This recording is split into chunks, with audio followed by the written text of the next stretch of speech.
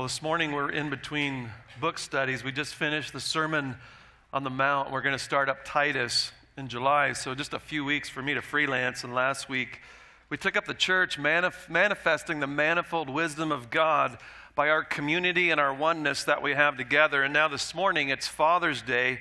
Uh, I haven't preached on Father's Day since 2001 or 2, something like that. So it's been a while.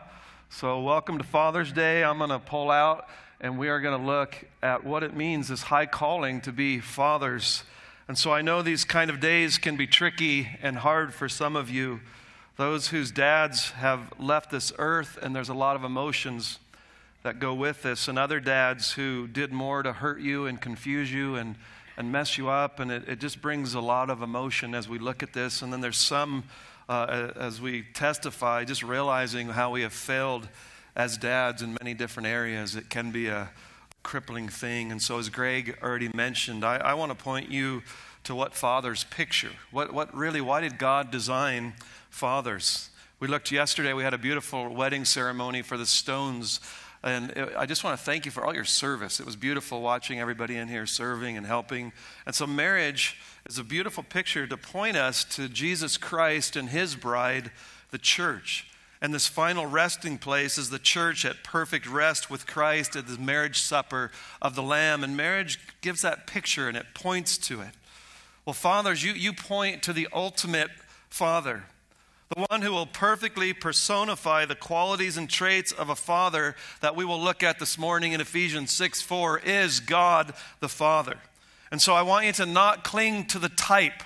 Don't hold so tightly to the picture but let it lead you to what it was designed to be. Why did God design fatherhood? It was to lead you to God the Father. God the Father is what this is all about. So honor your fathers this morning by looking only unto Jesus Christ for reconciliation with God and Father, who will satisfy your every need and your every longing that you have. No earthly dad will ever be able to do what your heavenly Father can do in heaven. He will abundantly do more for you than you could ask or hope from any earthly father. And so I just want us to, to end today just looking at God the Father and let there be healing if there's any hurt or anything with fatherhood in your own life. And then I just, there's so many young dads here. I, I want to see you be the kind of dads that we're going to look at this morning. So, your, your elders pray for this. We, we want to help you in this. And so, anyone who's saying, I want to be this kind of dad, we have so many leaders in this church who could help you in it. Step out, seek it out, and let's all journey together to, to be these kind of dads for the glory of God. So, let's go to Him in prayer, and then we'll open up the Word of God. Father, we come before you and we acknowledge that you are holy, holy, holy, and the whole earth is filled with your glory. Father, trying to come into your presence in our own merit would be like throwing a chip in the middle of the noonday sun. Father, for no one can stand in your presence. And so you have sent your Son into this world to come and to live the life we should have and die the death that we deserved. So that now that veil was torn in two, and now we have access to you, O oh God. We have your Spirit who cries, Abba, Father, who now we have the nearness of our God. We are now adopted and we have father, son, and daughter relationship with you. And so, God, I thank you for this glorious gospel. These are not small things, these are eternal, and they're bigger than anything that we are dealing with here this morning. So, I thank you for the gospel of Jesus Christ. And it's in that sweet and precious name that we pray and come into your presence. Amen. If you'll turn to Ephesians chapter 6, I think you guys are on to me. Every time I freelance, I'm ending up in Ephesians.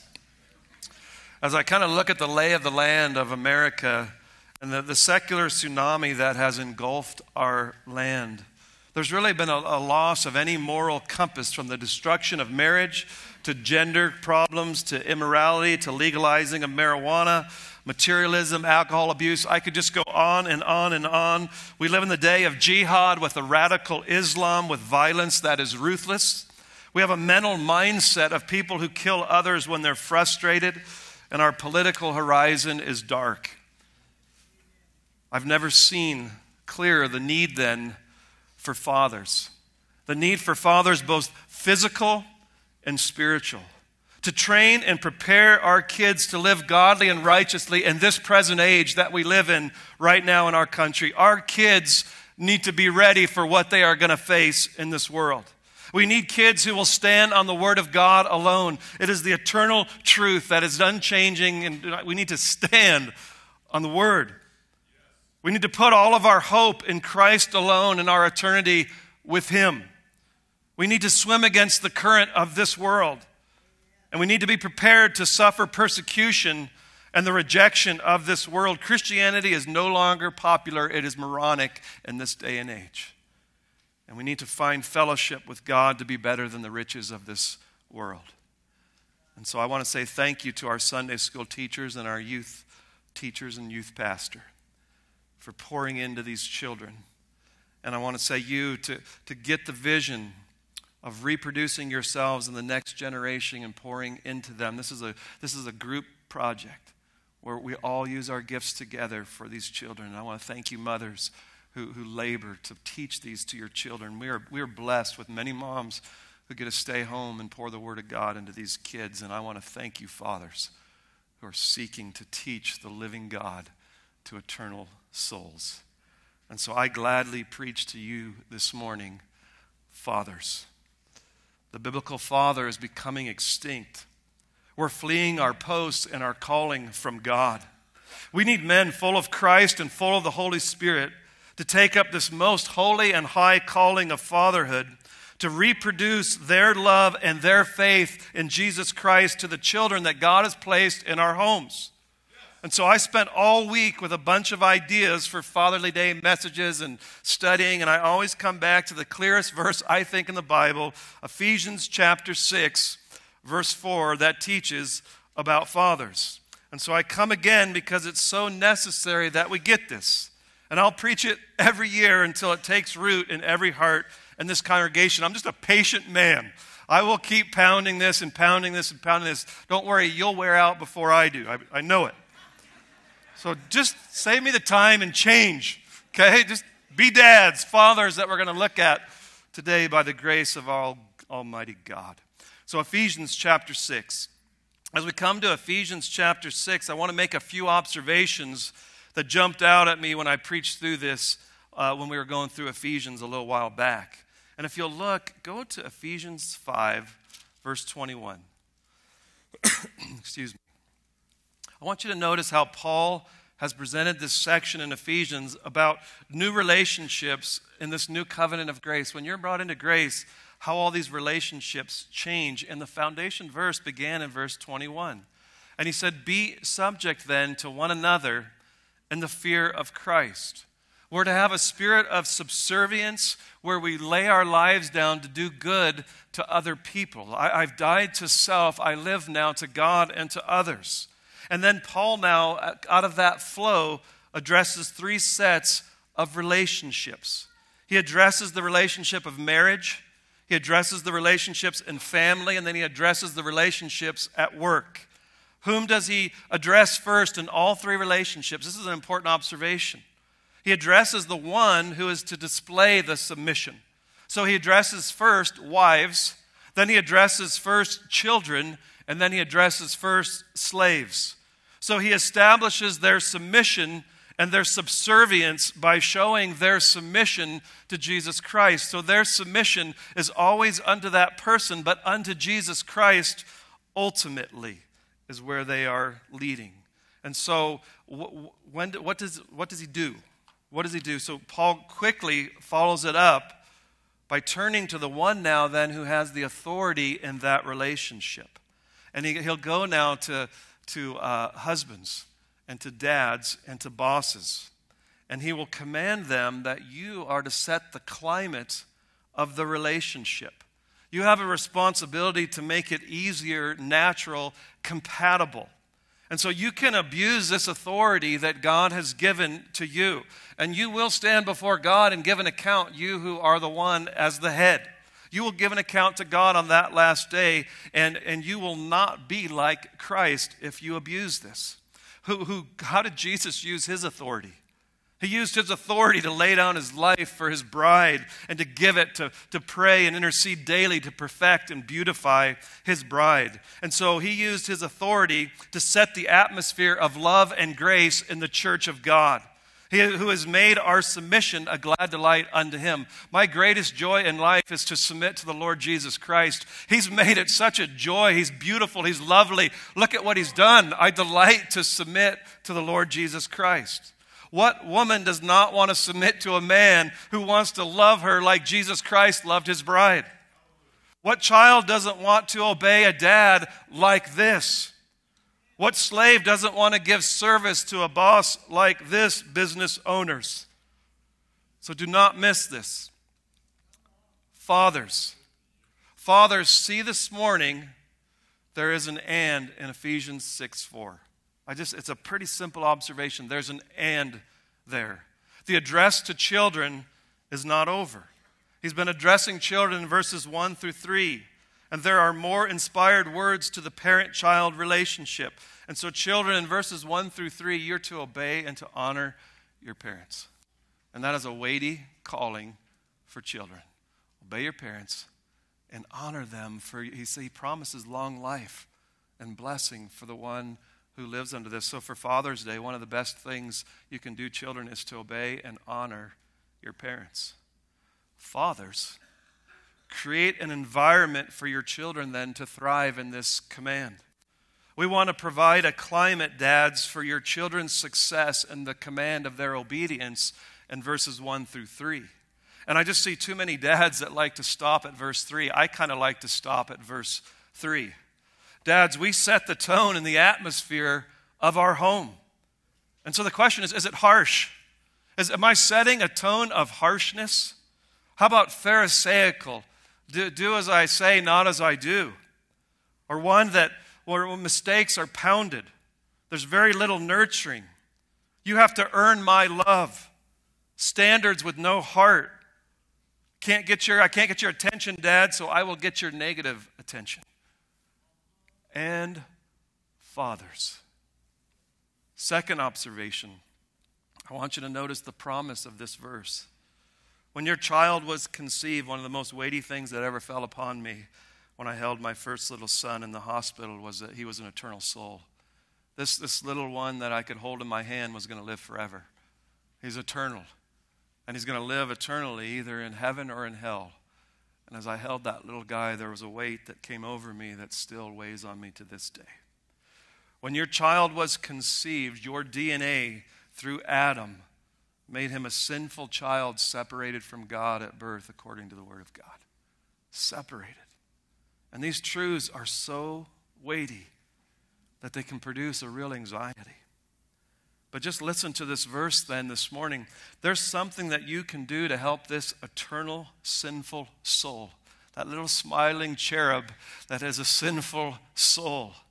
There is grace for your children to be forever adopted in the family of God. There is grace for your child. You know that God saves children? Hallelujah. That's good news. This verse says he uses means and he uses fathers using means. So there are means that God uses, and He uses dads who will use these means that He will lay out here this morning. And so if you can look at an eternal soul that you have passed that deadly poison of sin to, and all you care about is their education, about getting them a house, food, their braces, do they have a trampoline, then, then we've missed it, dads. We're flops as pops. Men, take up your God given responsibility to seek to bring them up to God, praying for them, knowing the gospel. Are you laboring to know and experience the gospel of Jesus Christ, to know doctrine? to be people who will dig in this word and grow and learn and understand it, and most importantly, to know Jesus Christ. I need to know him. That was Paul's passion, that I may know him in the power of his resurrection. Fertilize it with your own holy life Take up your cross of self denial. Turn off that TV. Put down your video games. Turn off your cell phones. Goodness. Give yourselves to these kids. I grew up in a, in a home where the gospel wasn't all the way understood, but I'll tell you what, there were seven boys in my family and no sisters. And uh, my dad had no friends. When he got off work, he came and he just lived with us. Our backyard was dirt from playing football on it all, all day. You know, and just, uh, I, look at all my brothers now. I've got six brothers, and every one of them are family men. You know, and it just, it's amazing what a dad can do to a family. Third observation is just how brief Paul's teaching is on parenting. He just tells us kind of, you, think there's going to be all these verses in the Bible on parenting, and in the New Testament, there's this verse and there's Colossians that deal directly with parenting. And he just kind of puts it real simple. I mean, marriage got like 11 verses, and kids got like three, and and now, one of the greatest things I've ever undertaken, probably the hardest thing, is parenting. And he gives me one verse. Thanks, Paul. No wonder you were single. so he, he puts it very simple. He says, There's a pattern to be avoided, dads. Don't exasperate your children. And in Colossians, he says, Don't, don't cause them to lose heart. Don't, don't exasperate these children and don't let them lose heart. But here's what you should do bring them up in the discipline and the instruction of the Lord. That's it. That's all that he gives us. He says, Don't rule them harshly, but rear them tenderly in fairness and firmness and fondness. And so scripture is sufficient. And so my observation is it's a small verse, but you know what? It's all that you need for parenting. Well, what is it? Well, don't use your authority to provoke your children. Am I creating an adversarial relationship between me and my children? And am I nurturing them? For, for some, it's just controlling them. And Paul's going to say, no, you're, you're nurturing them to bring them up. I'm bringing them from parental control to self control. From looking to you, parent, for everything, I'm training them now to look to Jesus Christ for everything. That's my goal as a parent. I want to nurture and I want to establish them in true godliness. And this is just take it to heart. It's not about you, Dad. It's about Jesus Christ and this calling to point them to Him. I, I just want to disappear. Remember, Paul said, I, I want Him to increase and me to decrease. There's a good picture for parenting. And so let's take a look then at Ephesians 6 4 this Father's Day. Here's our outline The holy responsibility of a Christian father. It begins with a clear understanding of the role that God has assigned to you. So look with me in Ephesians 6 4. And fathers. Do you think Paul forgot the Greek word for parents? I don't think he did because in verse 1 he, he used parents. And so, did he forget moms? Doesn't Paul know that I go to work all day and mom does most of the training? I earn the money. I, I, like to keep the outside of the house. I mow the grass. I can handle this. No, listen to what Paul says. And fathers. Fathers, Paul is saying by the Holy Spirit, you are the chief influence of the home on children. And most dads don't think that way. Mom does it. And Paul says, no, dads, you are the chief one. God made it so. The father's influence is chief. The mother is a huge blessing, and she gives all of her gifts to her husband to be used in the godly training of her children. She is the queen of the house. She is to be obeyed and honored. She is a crucial part in the process. But I want you to hear Paul this morning and fathers. You are to be the most influential influence in the house. You are the leader in this task of raising the next generation of righteousness. You are to set the climate of the home. You are the heads. So a lot of you like that title when your wife has to submit to you, but do you like it now when you're the one responsible for the physical, emotional, and spiritual welfare of your home? And fathers, you must set the climate of your home. And Paul has labored hard in this epistle to show us what that climate should be. This verse is not an ap- isolation, but it's the application of a clear flow of thought from the Apostle Paul. We can't pull this verse out now and write books on just this verse. But we need to look, you know, just look at every nuance and role and say, this is what a father is. No, we've got to flow through this whole epistle to understand the doctrine, so to get it, to believe it, so that we can live upon this. That we live lives worthy of the calling that we've received from God. And so you live out Ephesians if you get Ephesians, 6 4 will be automatic. If you skip it, 6 4 will just become another tablet of stone that will command but will give you no power to keep it. You cannot go back to Moses for your parenting. Let me give you the list of the commands, and I'll make myself and my kids keep them. I will work hard to not exasperate them, to nurture them, and to discipline them. And what will happen is your home will smell like Mount Sinai rather than Mount Zion.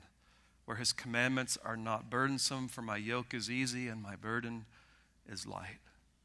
So, what kind of man must we be to keep Ephesians 6 4? What must be the climate of our home? Let's take a look at it. Go back to Ephesians chapter 1. I want you to look with me in verses 3 through 6. The climate of glory.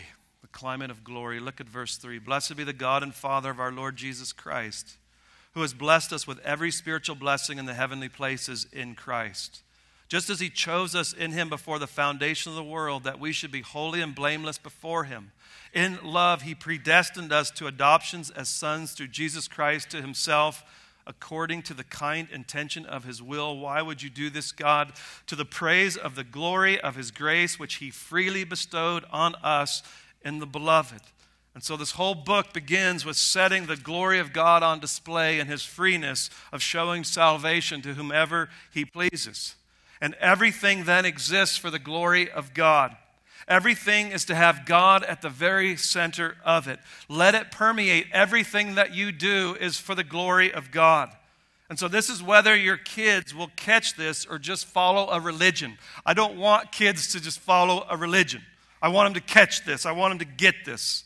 They see this in you. My dad had a lot of flaws and a lot of mistakes, but God was his passion in everything that he did. It was not an add on to his life, it was his life. And you want to show that to your kids that God is central to me and I live for his glory and I'm not just religious and I do nice moral things. I, that'll never get caught. That'll just be taught to your kids. And so I want my kids to see a value in God that he is worth losing your life for. I want them to get that from fathers from me. Do you want to give your kids that? Show these kids that God is better than them. Show them that. You're not my idol, Timmy, whatever your name is.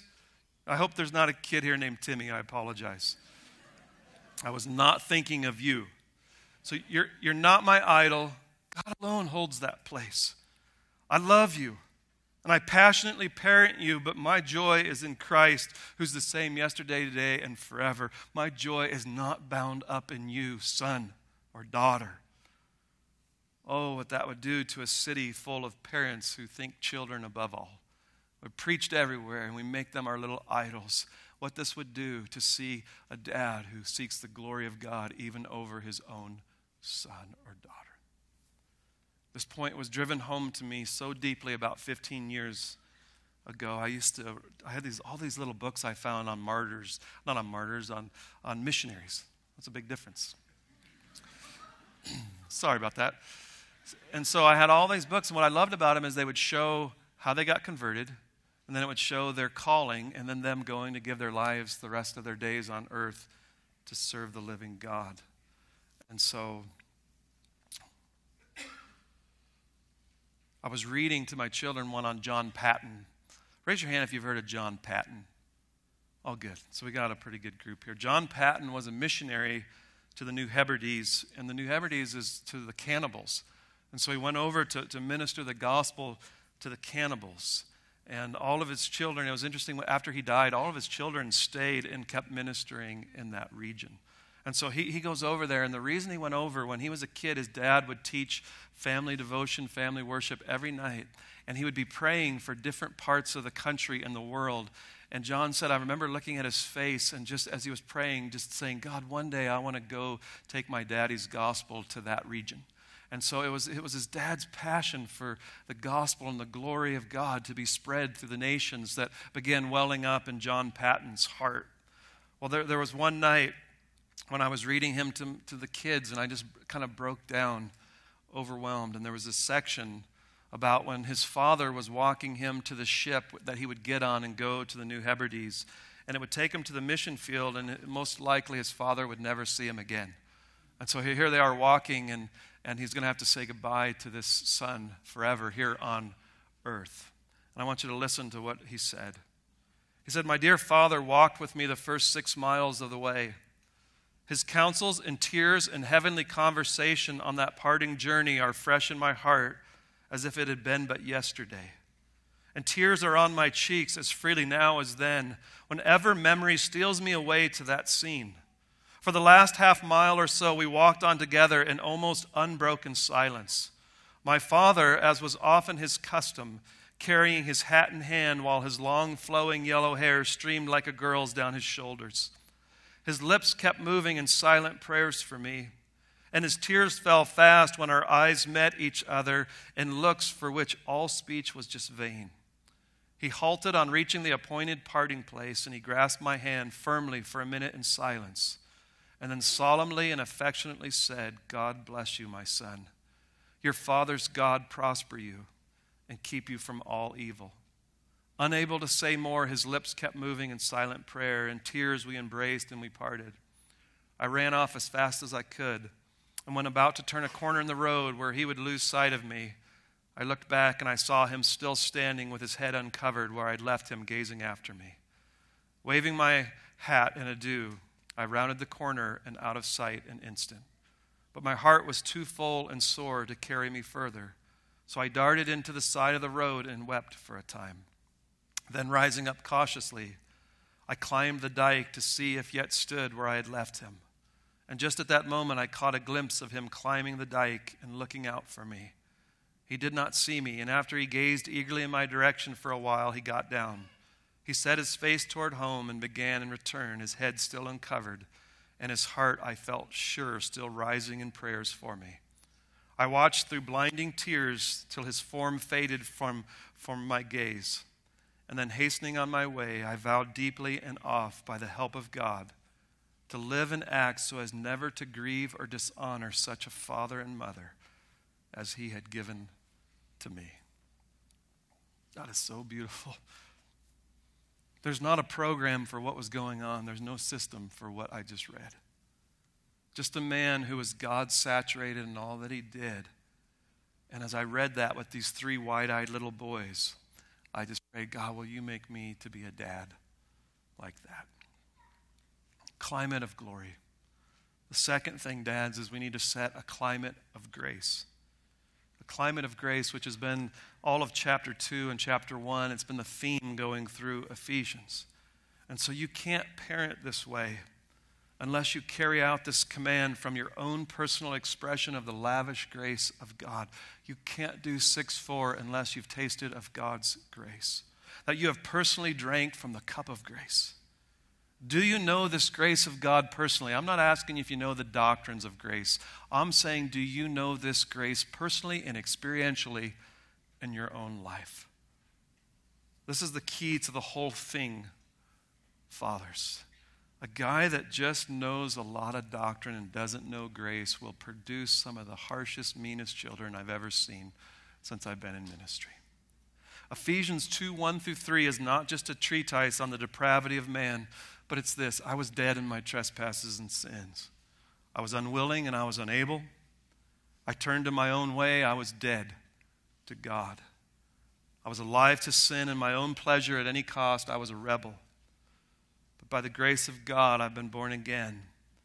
And I know the grace of God. And I'm dead to sin, but alive to God now. By grace, you have been saved. And so now I can nurture my children in the kindness that God has shown to me. It's experiential. I, I, I, can't get over this. It's the source and fountain of the kindness that is poured on my children. It pours into me by my communion with God, and it pours out upon my children the graciousness of our God. I was so far off, and I've been brought near by the blood of Jesus Christ. My little ones need this grace. Let them see the influences of grace in my life upon their life, O God. I now have such a ready access to my Father. Let my children have such a ready access to their earthly Father. Are we fathers who have been humbled by grace? Are all of our dealings now with our own out of the spirit of grace? What is this? What this will do to a home and what it will do to the children in it is beautiful. It's an atmosphere for children to thrive in obeying their parents in the Lord? Have you set a climate of grace in your home, dads? Or is it a climate of thrashing and yelling and harshness and exacting? That is usually what comes out of a man who's not resting in Christ alone for his salvation. And so, fathers, set a climate of glory and set a climate of grace And thirdly, set this is almost the whole outworking in Paul's epistle is set a climate of maturing in a local church. Set a context of maturing in a local church. This fleeing the church in our day and age is destructive, wrong, heresy, opposite of Scripture. Ephesians 2 Jew and Gentile are now reconciled. I preached it last week. Now we have oneness and we have unity from all different walks of life. It's beautiful gifts are given now to the building up of one another into the head. And so in Ephesians 4:16, he says the body's causing the growth of the body. All of our gifts working together are growing us up into the head, the Lord Jesus Christ. You've been put into a local body with all these gifts. I need every one of them. My kids need every one of them. They're here. God puts them in and together, working together, just like all the parts of my body cause a kid to grow up. And so we're going to grow up into the head, the Lord Jesus Christ, with these gifts. And so, do our children see us keep ourselves from people who don't believe everything the way that we do, that look like us or smell like us? Do we model that to them? Do we see the priority of the body of Christ? Do you see the need to use your gifts and have others use their gifts in your lives? I just, it burdens me again and again when I have all the gifts I'm going to pull out of the church and all my kids need is my gifts. That is, that's just What's the Hebrew word? Baloney. That's baloney. Do they see you be vulnerable then in the body of Christ? Do they see you strive to keep the unity of the body of Christ? Do they hear you talk bad about all the members, gossip about them, slander, put them down, mock their beliefs and practices? No one's as mature as you. Do they see that? I think the best thing that I ever gave to my kids next to a love for Jesus Christ was a love for his bride. The local expression of it. They watched mom and dad give their lives for this body. They watched our friends love us and be there for us in this journey. They were the recipients of so much agape love from this church. You guys loved my family so beautifully. I thank you for that. They love Southside. They have watched their parents grow in faith because of this body causing the growth of the body. Your kids need to see your commitment to the body of Christ, sacrificing for one another, loving and praying for each other, weeping with those who weep, rejoicing with those who rejoice, bearing, forbearing, forgiving, always striving to keep the unity of the faith. They need to see this. Fathers, they don't need a dad running from church to church looking for the perfect one. It's done more damage to children. Don't do that. There is only a perfect Savior working with imperfect people. The gift of teaching your kids is to work through conflict in the church family. And what this does for children, I've never read a book about what happens to families who make the body of Christ central, yet Paul said it is. I don't want you to miss that. Get in the body of Christ and watch what it will do for your children. Have you given yourself to the body of Christ? Fathers, you're the lead in this. Have you given it? If you don't give yourself to it and exhort your kids to do it, you're a Pharisee. Have you given yourself to it? Turn to Ephesians chapter 5. The fourth climate that we need to set, dads, in our home, and I'm going to pick, pick up the pace.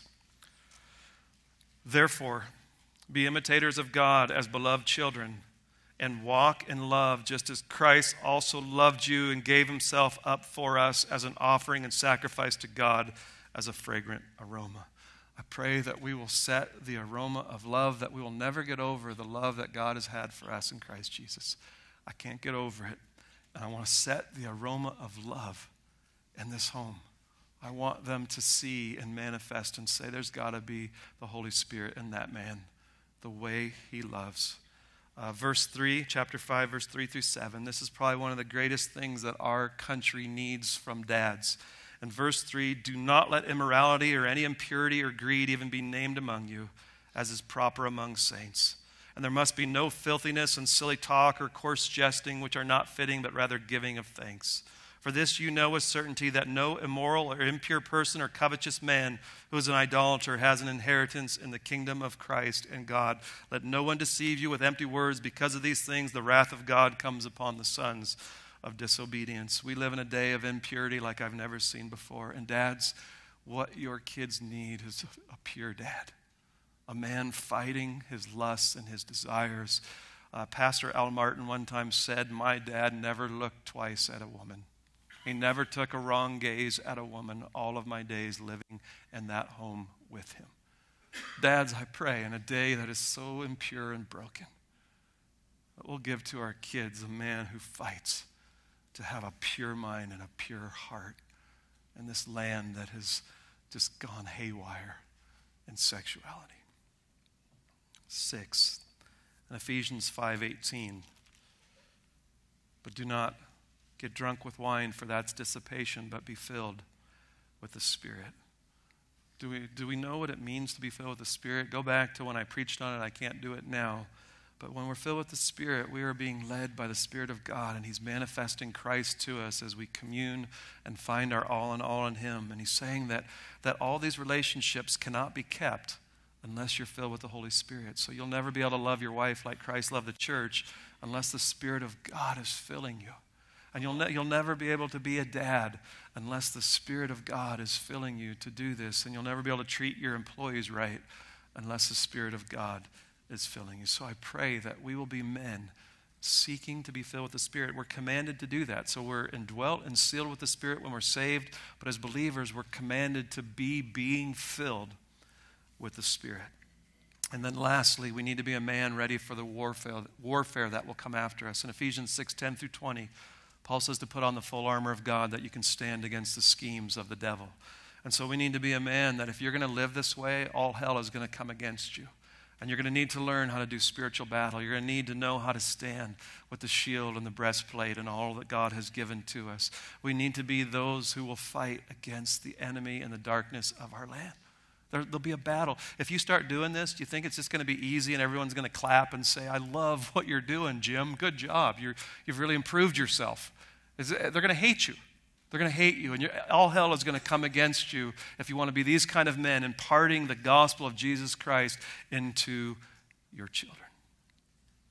And fathers. That is to be the climate of our home. Glory, grace, the local church, love, purity, fullness of the Spirit, and stand against the attacks of the devil. And so, men, what, what, young men, what I want to offer to you today is you need help in this. Probably the last thing is that you, you need help. So don't just sit alone and, and struggle and drown and die. That's why God has given you men who have gone before you. And so I want you to seek out older men and to go to them and just say, Will you help me? Will you teach me? I don't even know how to do family worship. Uh, will you teach me how to do that? We have some amazing men who know how to do that. And so don't just sit there and, and drown with, with all that God has given you. Why, why die in the desert of thirst when you got a bottle of water? You got all these older men who will help you and teach you. And so let's, let's dig in and, and do this together. Find a mentor.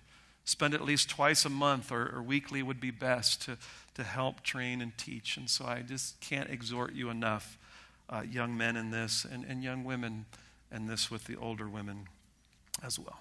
Amen. Easy enough? Possible unless we are filled with the Spirit of God. So I want to close with every time I preach on parenting, I close with the same quote, but I just I need to hear it again and again, and I'm going to let you hear it again and again. So it's one of my favorite preachers of all time. His name was Martyn Lloyd-Jones. Uh, and Martyn Lloyd-Jones said this What we have to do is to make Christianity attractive. We should give our children the impression that the most wonderful thing in the world is Christianity and that there is nothing else in life that is comparable to being a Christian. We should create in them the desire to be like us. They see us and they see the joy and that we have in it and that, that uh, the way we wonder and marvel at it all. And they should be saying to themselves, I am longing to be as old as them so that I can enjoy it as much as they obviously do. Our method must never be mechanical, legal, or repressive. Our testimony must never be forced. But in all we are, do, and say, Let them know that we ourselves are bondslaves of Jesus Christ and that God in His grace has opened our eyes and awakened us to the most glorious things in the world, and that our greatest desire for them is that they may enter into the same knowledge and have the same joy and have the highest privilege possible in this world that is serving the Lord and living to the praise of His glory and His grace. Amen. I just want to close then. If you're here um, and you're a father who has never experienced the grace that I've just preached about, is that you, you can't do what I just said.